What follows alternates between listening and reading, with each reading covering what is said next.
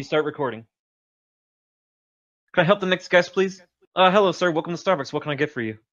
Yeah, can I get a motherfucking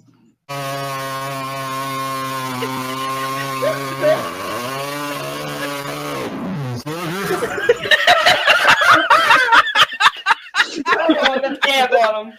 Sir, we don't sell burgers here.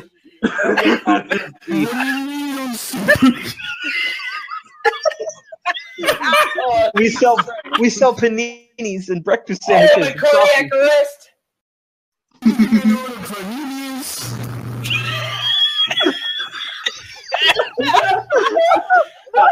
Oh my god.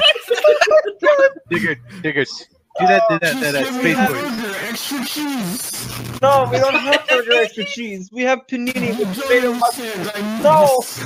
Sir, I'm gonna have to ask. Why are you saying this in front the public? No, sir, we don't want coffee. What in the hell did I walk into?